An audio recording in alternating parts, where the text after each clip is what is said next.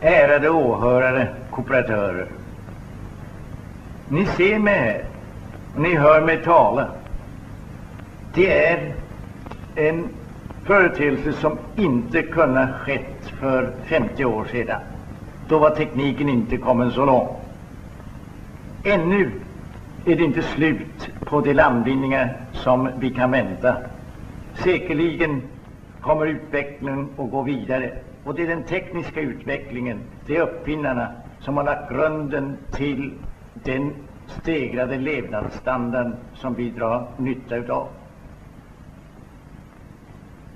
Jag är säker om att ni alla känner till television. Den sprids i Amerika med rapid hastighet. Vi kan vänta att den kommer hit. Om den har funnits, då kunde jag suttit hemma och hört på mig i varje, i varje hem. Vill ni följa mig upp till Kooperativa förbundets centralbyggnad i Stadsgård? Det är ett mäktigt komplex. Inom det, den byggnaden arbetar över tusentalets kontorister som myror. Till denna central går trådarna från alla de kooperativa föreningarna i landet med deras medlemskrets på nära en miljon med en omsättning på en och en halv miljard från de kooperativa lagren som säljer varor för nära 800 miljoner kronor varav hälften tillverkas i de kooperativa fabrikerna. Allt strömmar samman till den kooperativa centralen i Stockholm. Det är mäktiga siffror som jag kan nämna. Det är ett resultat av 50 års arbete. Det som vi har att tacka är pionjärerna, de som började, startade under mödosamt arbete, la grunden till vår rörelse. De har gjort en insats som vi nog, inte nog kan uppskatta. Det förstår nog ni. Många ibland er har säkert varit med under de första åren, det första decenniet. Och ni vet hur ni då fick arbeta 12 till 10 timmar och sedan ägnade ni er tid åt kooperationen. Det var uppoffrande arbete och det är det som lagt grunden till den kooperativa rörelsen.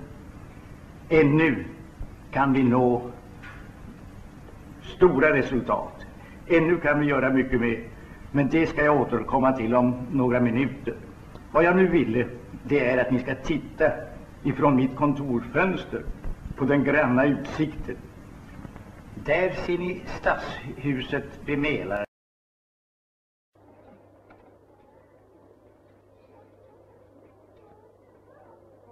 Hon ser tämligen belåten ut över mötet med vårt företag. Men, men. Det finns tydligen sådant som fördärvar det goda intrycket.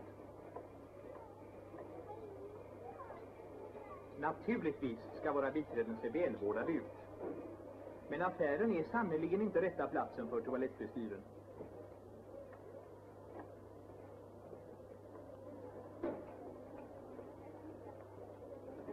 Här har tydligen ledighetskommittén sammanträde. Och kunderna nonchaleras helt. Är det inget som expedierar här? Det är klart att kunderna ska kunna gå omkring i affären utan köptvång. Men uppenbar ouppmärksamhet emot dem kan inte tillåtas. För då går det som det gick här. Fröken, har ni den här i blått? Ögonblick ska jag se. Kan du beställa mer av de här? Får jag se? Nej, de har utgått snart inga på lagret. Fröken, Nej, jag har varit nere och tittat efter. Konstigt, jag tyckte bestämt jag hade på lagret. fröken, fröken, säg fröken! Här har vi en situation som är typisk för EPA. Biträdet får betjäna flera kunder på en gång. Och hon behärskar den konsten, utan allt jäkt som lätt kan smitta av sig. Lugnt, vänligt och smidigt genomför hon inte bara en försäljning utan flera.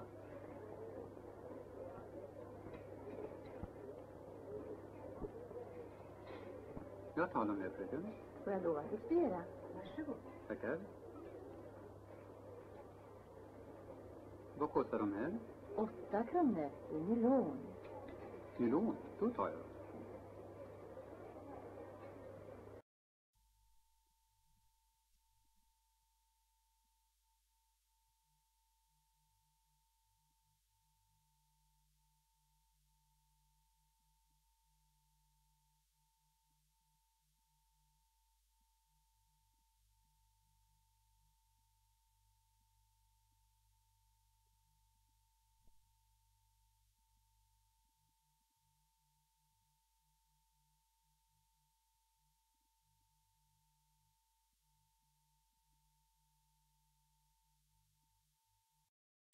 Får vi föreställa fru Plotter. Fru Plotter ska just till att baka.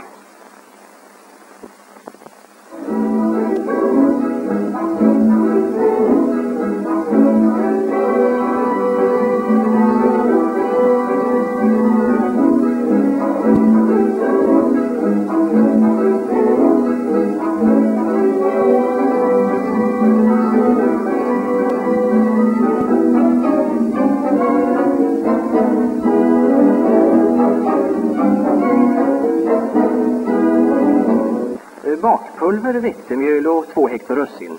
Jaha, tack fru Plotter. Var det bra så? Jag tror inte det. Det var det, var det nog inte. Låt mig tänka nu.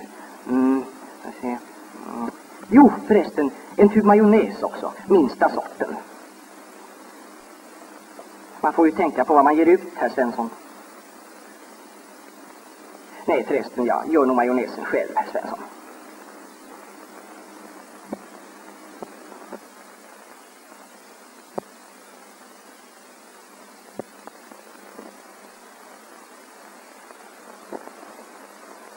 Jaha, fru Plotter. Det var tydligen slut på sockret också den här gången. Mm, men det finns ju i affären förstås. Kanske det är bäst att ta med kassen. Man kan ju komma på något mer medan man ändå är där. Låt oss nu bekanta oss med fru Planer. Varje måndag ägnar hon en halvtimme åt att skissera upp veckans matsedel.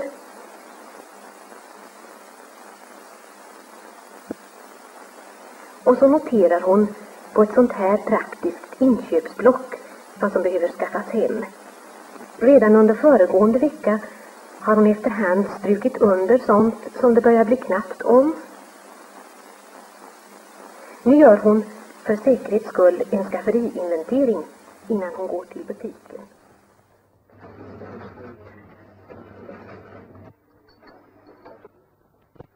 Vad säger de när de kommer till dig i kassan och betalar?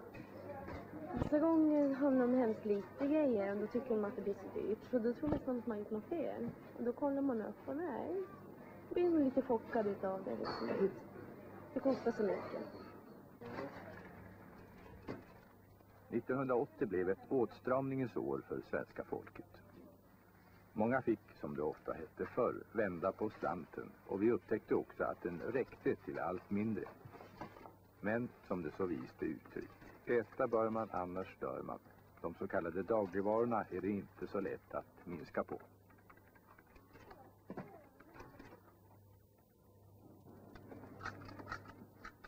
Av de 9000 dagligvarubutikerna är drygt 4000 ICA-butiker. Konsum har cirka 2000. Under strukturomvandlingen på 70-talet tvingades årligen många hundra butiker lägga ner för att kundunderlaget blivit för litet. Den utvecklingen har nu bromsats. I många fall har de nya butiker som etablerats blivit bra alternativ för kunderna som mist sin gamla butik. 1980 slogs det rekord i förnyelse av butiksbeståndet. Närmare 500 äldre ICA-butiker rustades upp för att bättre kunna motsvara kundernas krav och därmed också trygga sin fortlevnad. Det personliga och individuella sättet att sköta butiken är viktigt och garanteras både genom ägandet och i styrelseformen. Handlarna har majoritet i alla bolagsstyrelser. Alla ICA-handlare är medlemmar i ICA-förbundet. Affärsverksamheten sker genom ICA AB och de tre regionföretagen ICA Eol, ICA SV och ICA Hako.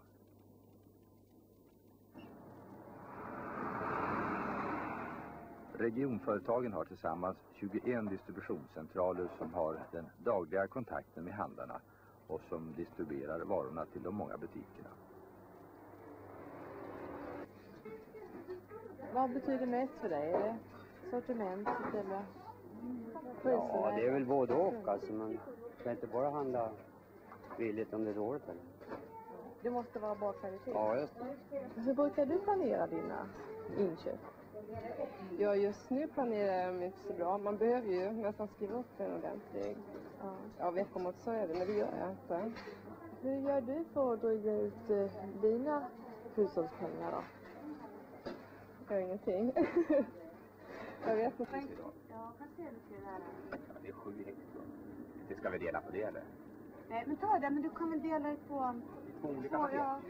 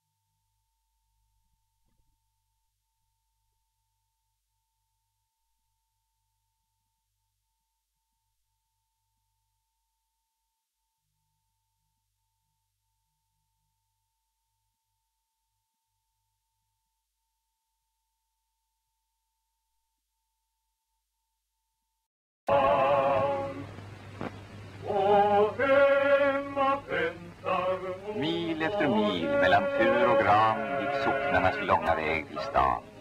Genom vintrarnas kyla och höstarnas väder gick vägen av gammalt till Sveriges städer. Lagen bestämde och föreskrev att ingen på landsbygden handel bedrev. Som ett ansenligt lass gick den långa färden till de avlägsna köpmännen för i världen. Det gällde att hämta sig socker och salt och strömming och kaffe och snus framför allt. Och hästen fick slita och lassen var stora. Det var inte så ofta man körde en fora.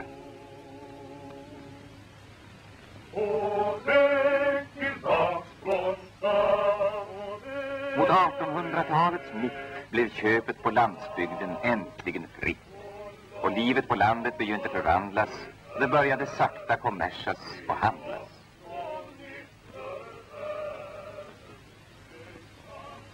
En vacker dag var det någon där som vågade öppna en fast affär.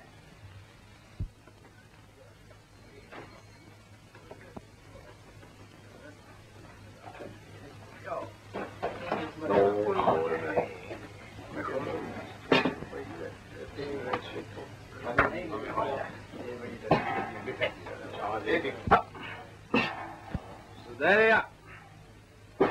Det var sirapen det.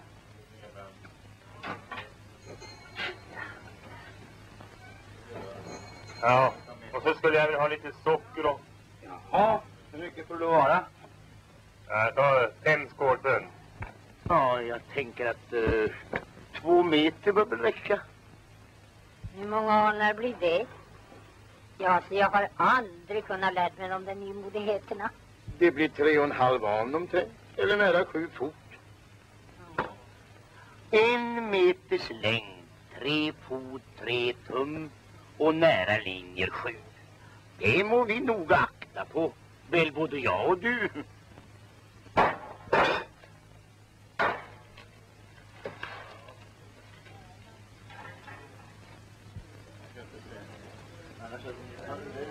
Du väger så väl så du skulle duga till nämndeman. Och så får jag fem skålpund sill.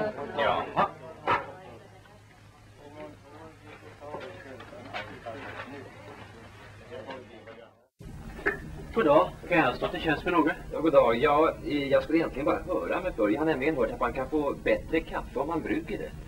Ja, det är alldeles riktigt det. Man tillvaratar kaffets arom mycket bättre vid bryggning eller rättare sagt filtrering. Och så slipper man de smakfördärvande ämnen som frigörs när man kokar kaffet. Ja, kan jag få demonstrera en bryggare kanske? Jaha, tack. Det ska bli intressant. Det här är en bryggare som jag verkligen kan rekommendera. Den är lättskött, den är snabb och den är mycket effektiv. Melitta heter det. Ja, Melitta, ja, ja det namnet känner jag till. Ja, Melitta finns i fyra olika storlekar, från en och till 15 koppar. Det här är den vanligaste storleken. Med den kan man brygga från fyra till åtta koppar. Ja, men eh, hur gör man då? Jo, det är mycket enkelt.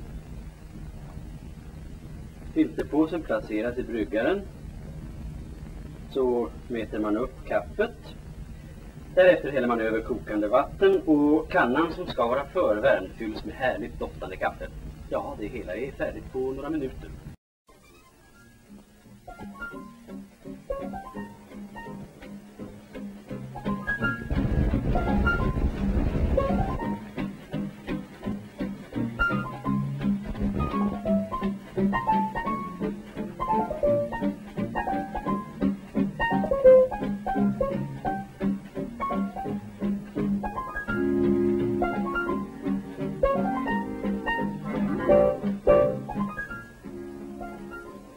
All världens goda, lättåtkomligt och vackert serverat.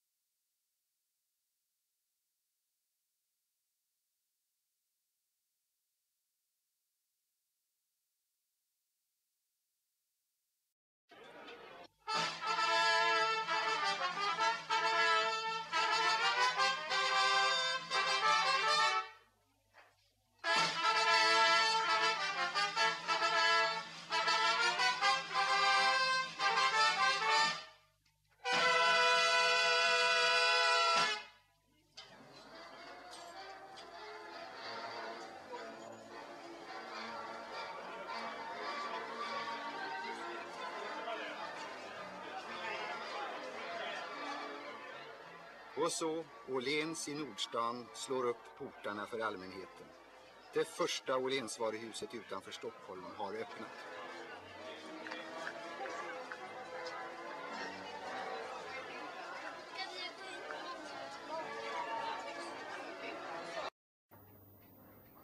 Butikerna varierar verkligen i utseende och storlek. Det är små närbutiker, butiker i stora bostadsområden, varuhus, stormarknader och så kallade trafikbutiker. Vilka är det då vi handlar hos och för hur mycket?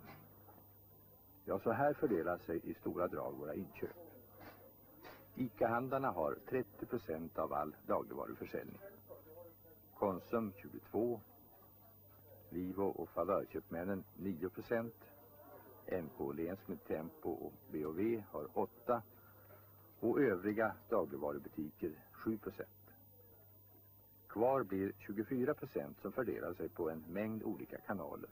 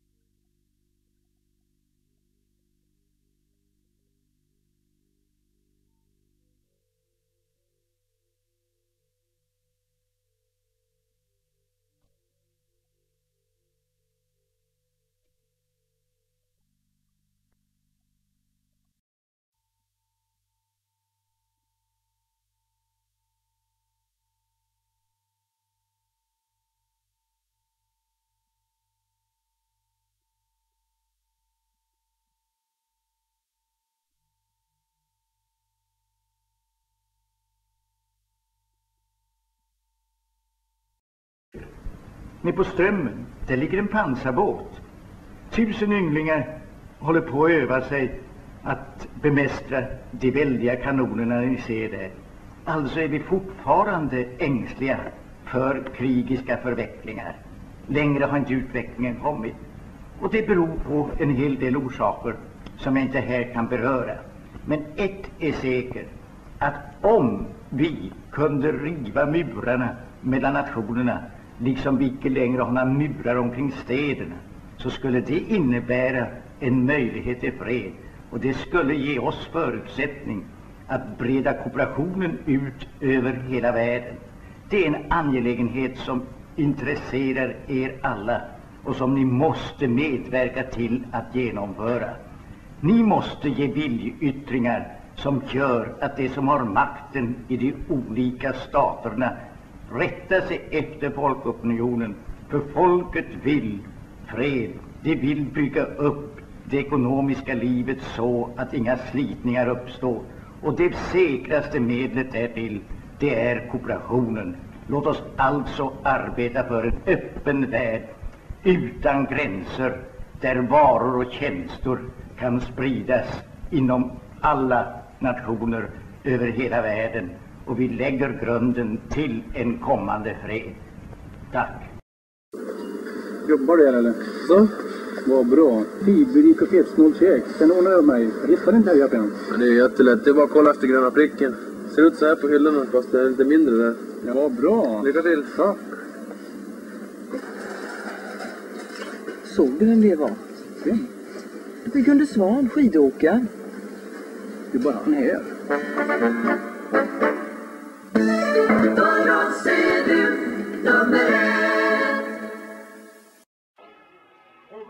gång ni går ut genom kassorna, så in i bröstet på varje kassörska, så ljuder en melodi som ni har hört många gånger. Och den tänkte jag ni skulle hjälpa mig med en sån här dag när det är som fest. Jag ser pengar, jag ser pengar. Är inte till bekymmer om man handlar på Tempo i Borlänge, så ska ni sjunga om ni kan få till det på det sättet, men det kanske inte går.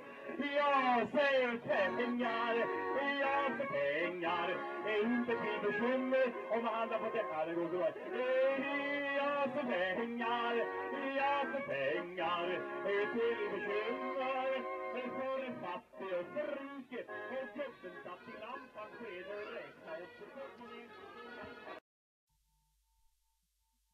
På våren 1969 avgick från sin post som verkställande direktör i Åhléneholm. Pågick sedan ett år tillbaka underhandlingar om en fusion med NK Turitz. Då alltså frågan om ledarskapet vid en eventuell sammanslagning var oklar åtog sig Åke Danielsson, sedan länge vice verkställande direktör i företaget, att tills vidare uppehålla befattningen som vd. När sedan tankarna på en fusion avvecklades på hösten kvarstod Åke Danielsson på sin post i avvaktan på att en ny vd skulle utses.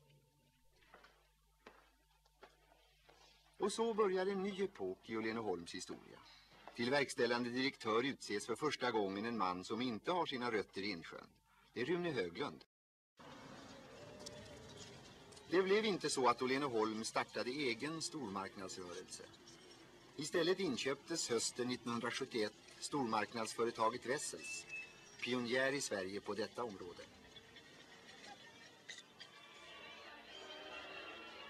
Vi tittar in på Malmö Wessels som ligger vid Jägersro och öppnades redan 1962. Stormarknaden har sedan byggts ut och har idag en försäljningsyta på 15 000 kvadratmeter. År 1974 har Wessels nio stormarknader mot de tre som fanns då företaget införlivades med Åhléneholm.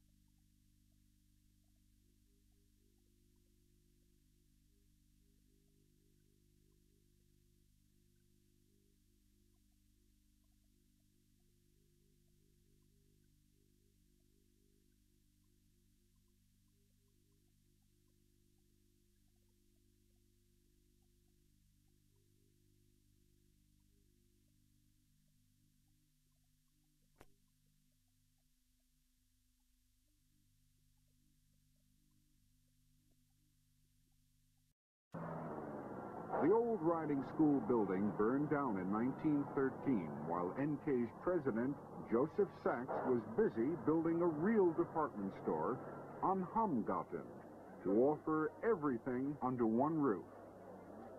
The grand opening on September 21, 1915 was attended by Sweden's Prince Carl, Princess Ingeborg, Prince Eugene, and a Swedish newsreel camera. The Crown Prince and Princess arrive for the inauguration of the NK store on Hamgatan. And then King Gustav himself arrives for a look at Stockholm's newest attraction. NK has already become something of an institution. The man with the white beard is master of the royal household, Otto Prinschirl. The king's brief look lasted a full two hours and included champagne in the NK lunchroom. 4,000 invitations went out for the inauguration. It was a great day for Joseph Sachs. The next day, an equally great occasion. The doors were open to the public, and 35,000 people showed up.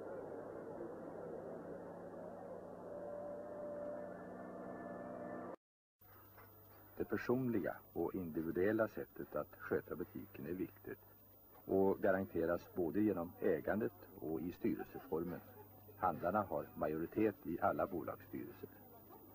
Alla ICA-handlare är medlemmar i ICA-förbundet. Affärsverksamheten sker genom ICA AB och de tre regionföretagen ICA EOL, ICA SV och ICA Hako.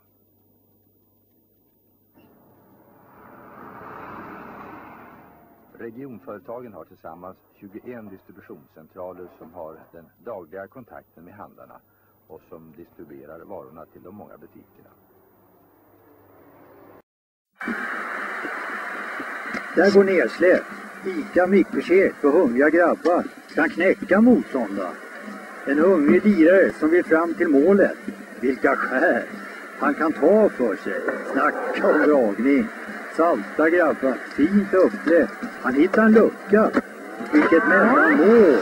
Råvaror och recept från ICA. Du nummer ett.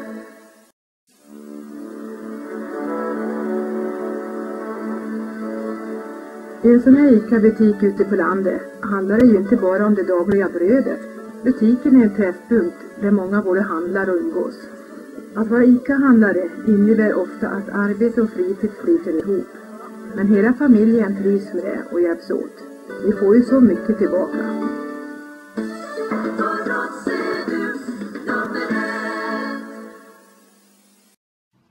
Ja, vi förstår av Rune Höglunds tankegångar att många olika utvecklingsmöjligheter finns för vårt företag.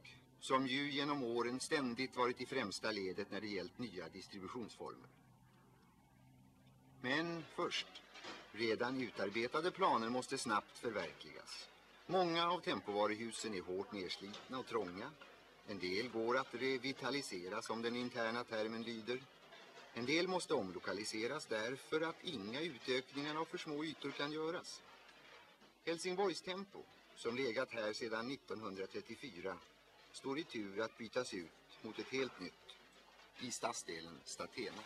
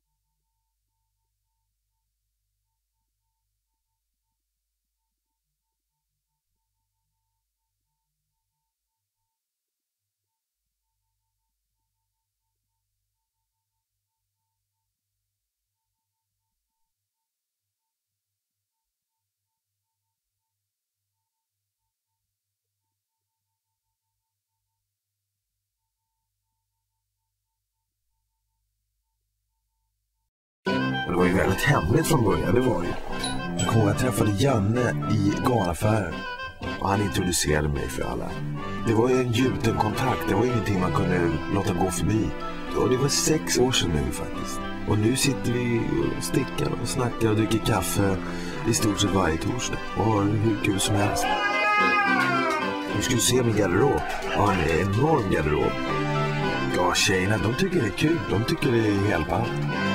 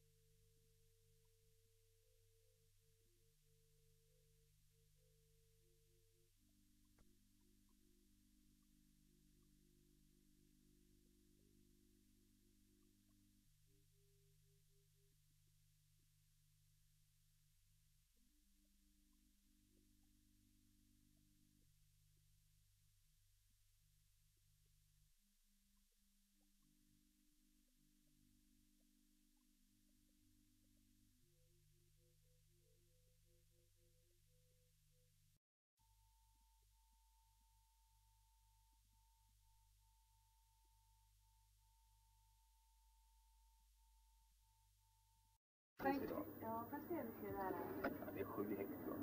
Det ska vi dela på det eller? Nej, men ta det. Men du kan väl dela det på... På olika paket? ja.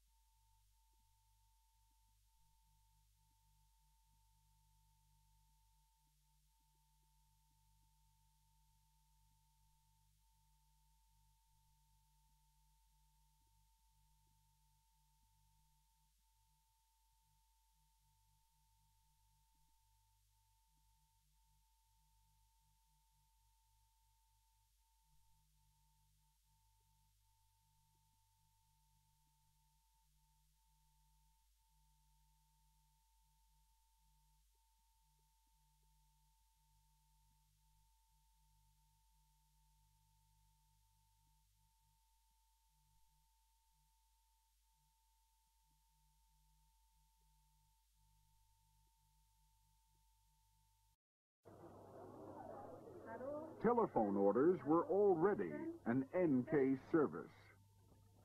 Livsmedel? One moment, please. Food department? Dog biscuits? Sorry, madam. I'll get you the pet department.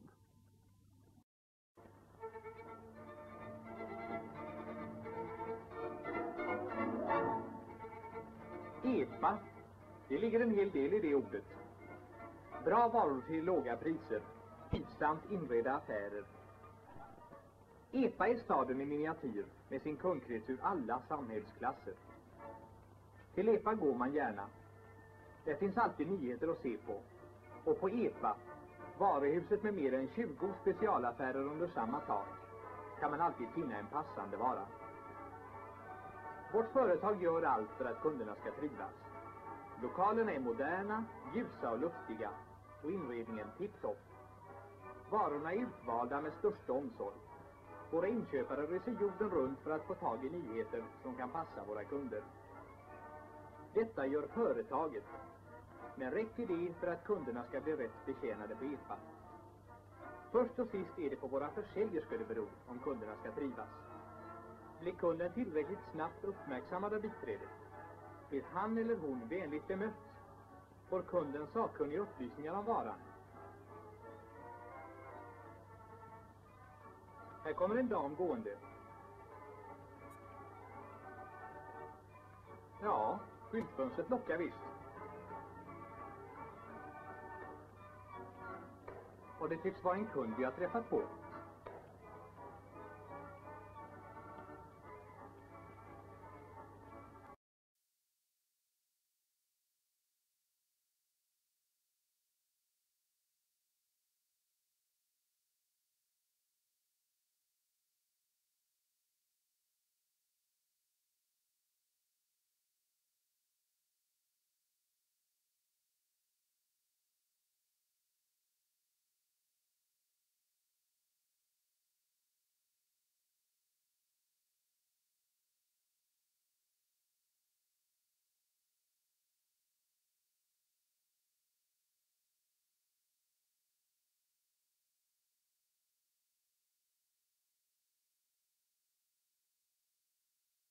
Rutiner.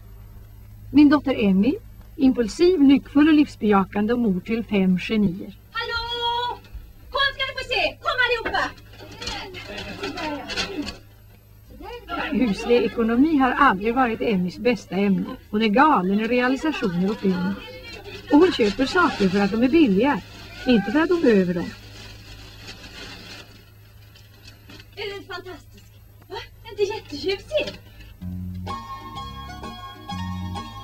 Trots sina små egenheter kan hon åstadkomma en fantastisk middag i ett nafs. Och duka ett middagsbord med öga för det dekorativa. Och med fantasi.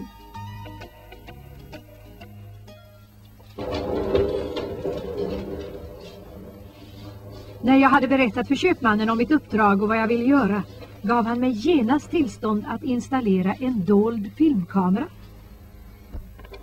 och gömma några mikrofoner på olika strategiska punkter i butiken. Hallå? Urban? Ja. Hör du mig? Ja, jag hör det fint. Från den utkikspunkten skulle jag få en bra bild av hur kunderna reagerade beträffande de varor de köper, priset de betalar, service, reklam och varornas placering. Emmys del i experimentet var att vara sig själv, en vanlig husmor som handlade för veckohelgen. Kommer du ihåg? Bara vanlig vardagsmat. Jaha, mamma. Så tillräckligt för att livnära en familj, inte en armé. Ja, men vår familj är en armé, mamma.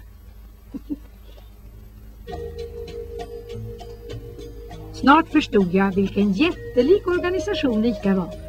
Tusentals butiker över hela landet. Tonvis med mat och andra varor måste distribueras varenda dag. Omfattningen av det hela trotsade min fantasi. På vilket sätt får ICA-butikerna sina varor? Hur skulle jag få svar på den frågan?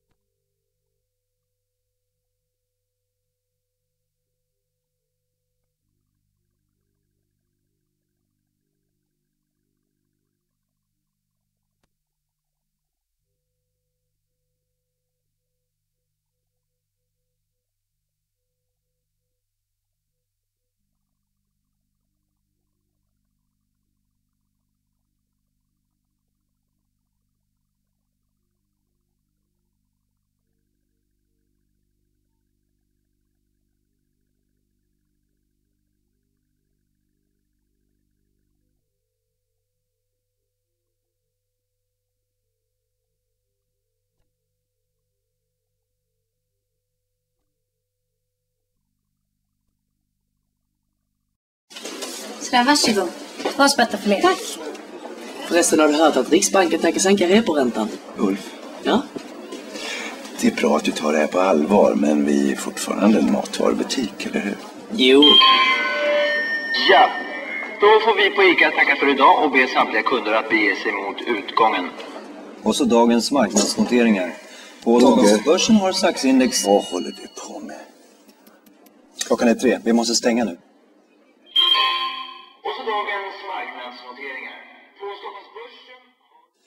Nej, lyssna nu. Vi har öppet precis som vanligt. Och era arbetsuppgifter är fortfarande att plocka upp varor och sköta kassan. Ja, fast där... Nej. Vad betyder mest för dig? Är det sortimentet eller Ja, det är väl både och alltså. Man ska inte bara handla billigt om det är dåligt eller? Det måste vara bra kvalitet. Ja, just det. Hur brukar du planera dina inköp?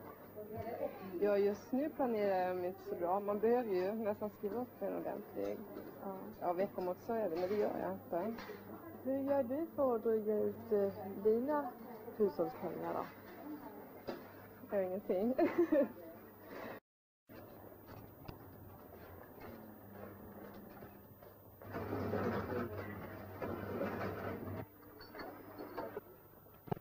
Vad säger de när de kommer till dig i kassan och betalar?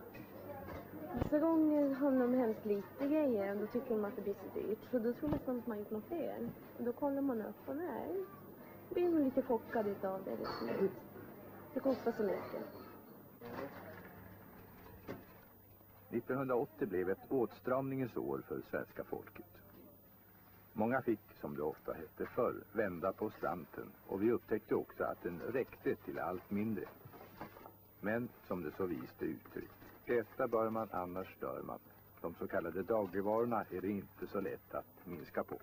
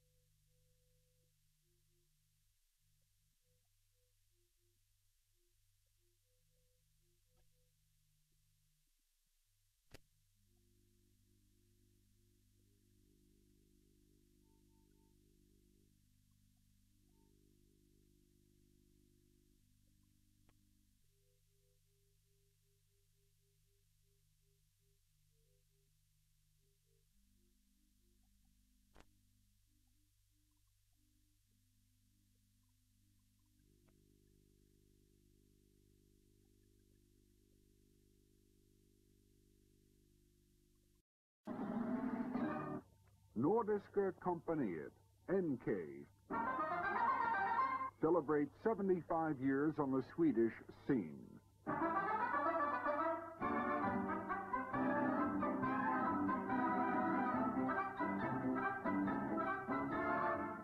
It all began here in Stockholm at the start of the 20th century when the shopping district was still located in and just north of the Old Town. The horse-drawn trams have been replaced by the faster electric streetcars. Strolling pedestrians have to quicken their pace to avoid being run over.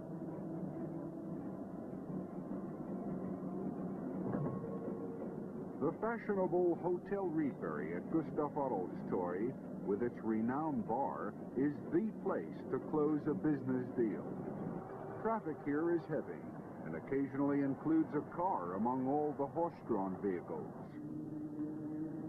Not far from the square at Reiringsgatan was the established department store Joseph Leia, then owned by Joseph Sachs. A bit of the store's gable is seen in front of the telephone tower. Over at Stureplan, the well-known K.M. Lundberry Company built a modern department store. And since Lundberry and Leia complemented each other, they merged in 1902 and formed Nordiska Kompaniet. K.M. Lundberry started his career back in the 1840s in the town of Nyköping, and it was here in 1905 that N.K. opened a furniture factory. The site was chosen because it was close to a rich supply of oak. Magnificent logs to be skillfully transformed into solid specimens of quality furniture. And the special NK logotype is already a familiar sight. It was never mass production. The furniture was mostly handcrafted. Rather expensive for the average Swede, but exported with great success to Russia through NK's own sales outlets in St. Petersburg and Moscow that were closed in 1917 during the Russian Revolution. Led by a diligent foreman, the factory turned out curio cabinets, shelves, and other furniture, typical for the period.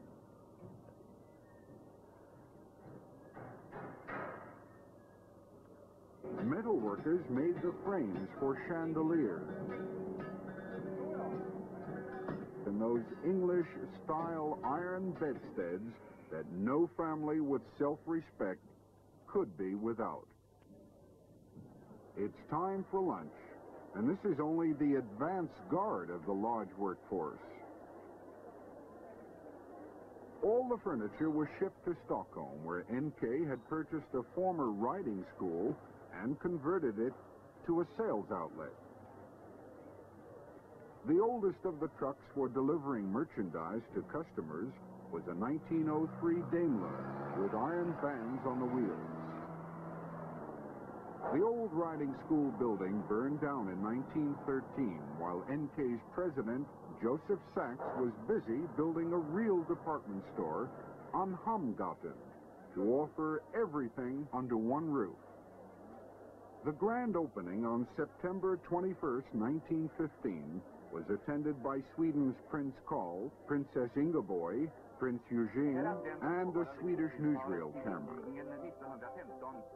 The Crown Prince and Princess arrived for the inauguration of the NK store on Hamgaten. And then King Gustav himself arrives for a look at Stockholm's newest attraction, NK has already become something of an institution. The man with the white beard is master of the royal household, Otto Prinschirl. The king's brief look lasted a full two hours and included champagne in the NK lunchroom. 4,000 invitations went out for the inauguration. It was a great day for Joseph Sachs. The next day, an equally great occasion. The doors were open to the public, and 35,000 people showed up.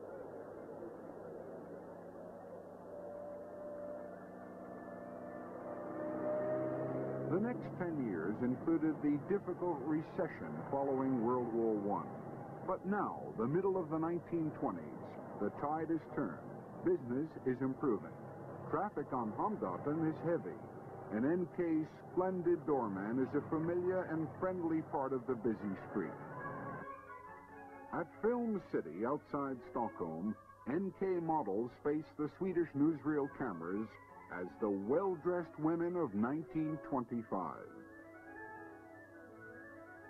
We might debate the fashions, but there's no doubt these dresses, coats, and hats really do justice to these unbelievably slim figures.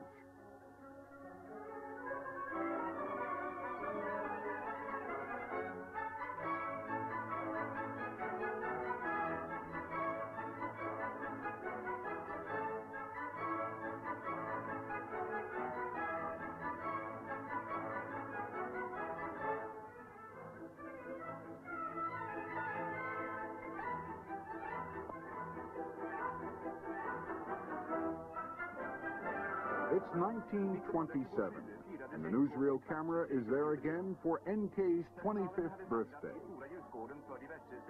The staff is assembled in the great entrance hall.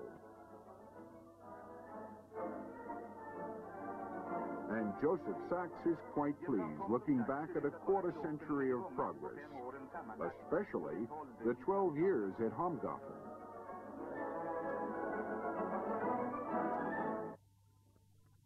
Nineteen thirty-seven, the year Joseph Sachs retired as head of NK.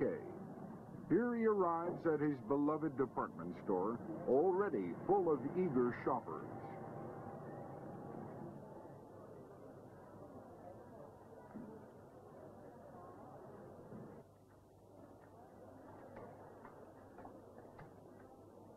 Before attending a scheduled meeting, he takes a traditional swing around the sales floors.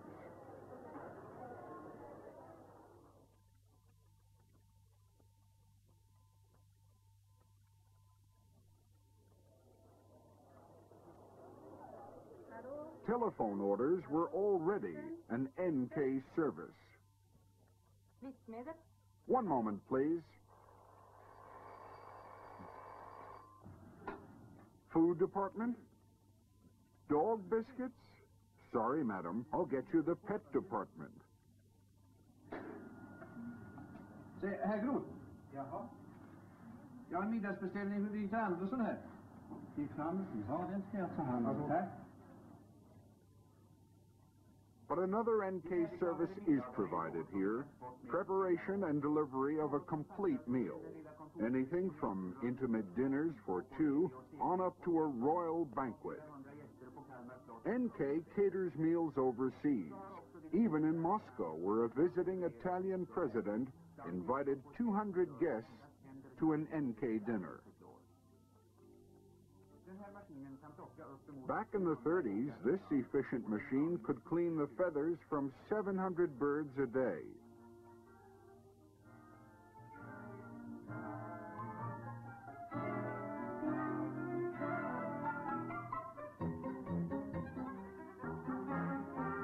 Under det stora varuhuset ligger en gammal källare. Förr i tiden krog. Numera upplag för burkar. Down in the cellar were NK's prize pickles. And from the bakery, a fancy cake to fit any occasion. Men att det är sista gången vi ser den packade middagslådan är däremot säkert. För nu skickas den iväg till det färdigdukade och väntande bordet. In the Second World War, special Christmas boxes were made up for the tens of thousands of Swedes guarding the nation's borders.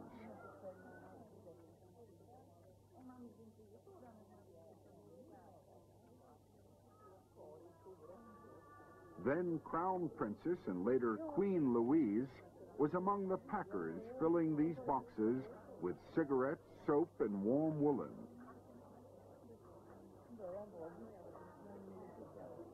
Countless Christmas boxes from NK were greatly appreciated by the men serving in the south, the west, and the north of Sweden, where the temperature could drop to minus 40 degrees centigrade. With Christmas approaching, it's out to the forest for a tree. This enormous specimen surely is for some city square.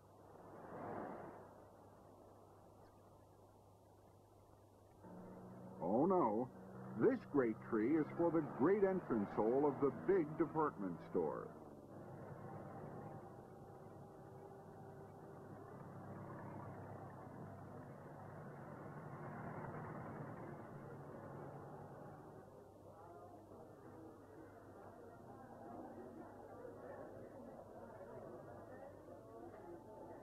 And imagine they did remember to string the lights before raising the tree.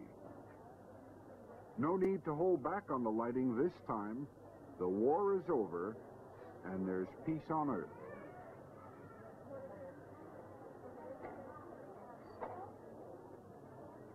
One of the many merchandise fairs with a foreign flair was California Comes to NK, with a real live Swedish American sheriff. In a Stockholm park, he shows off a silver saddle worth $50,000. The United States enjoyed lots of goodwill after the Second World War. Swedes associated America with cowboys and Indians. So the theme in the great entrance hall was the romance of the Wild West.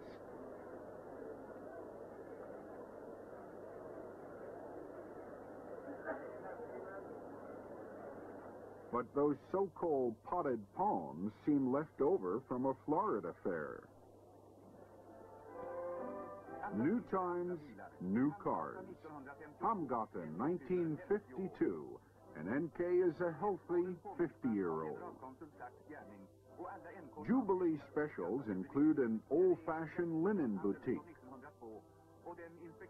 Inspected by new NK faces, President Ragnar Sachs and board chairman Jakob Wallenberg.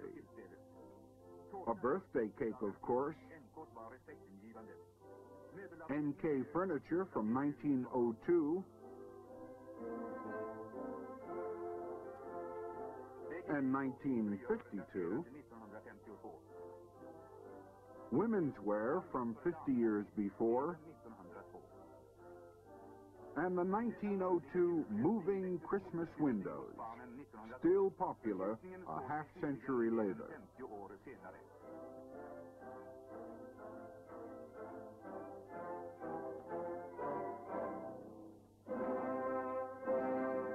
Och så går ruljansen vidare mot nästa jubileum. People at NK's Hamgaten store started moving on modern escalators. And the concern moved south and west with modern branches in Malmö and Gothenburg.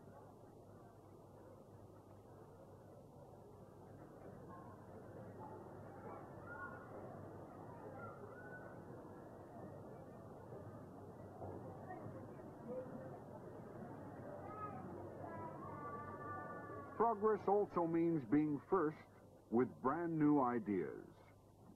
Back in the beginning of the 1930s, NK introduced the chain store concept, and the E sign for the EPA chain went up all over Sweden.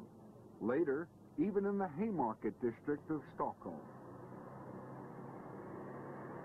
Looking back now to the start in 1902 and 75 dynamic years on the Swedish scene, it's quite clear NK is always right in step with the times.